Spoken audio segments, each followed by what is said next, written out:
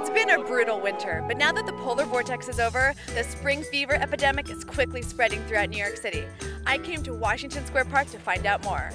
Happy spring! I'm not ready for It's spring! You're not ready! You want to play frisbee? No. What's your favorite activity to do in the spring? Uh, lie down in the grass. Can we do it? Sure. Let's go! Let's do it! It's spring! We're laying in the grass. So many rats have peed here, and I'm okay with it. What do you enjoy most about springtime? I love the spring because I get to go watch the Yankees play with their balls. Happy spring! Oh shit, thank you. Hi. Do you have spring fever?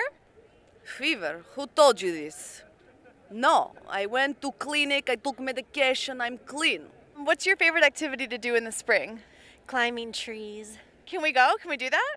Yeah, let's do it. So. This is fun! This is fun! What's your favorite thing to do in the spring? this notion of the seasons is completely contrived. If we're gonna create a transcended uh, juxtaposition of our paradigm shift of what existentialism really means, Happy spring! Oh, sorry. Oh, if you've read theoreticians like Kierkegaard, you know exactly what I'm talking about. So probably picnics are my favorite part of spring. Can I join you guys? I love picnics. I'm just gonna go to town on this.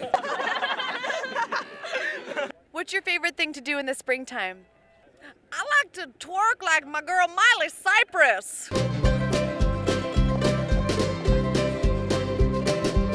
I love to dance. Should we get everyone dancing in Washington Square Park? Sure. I came prepared. Oh my god.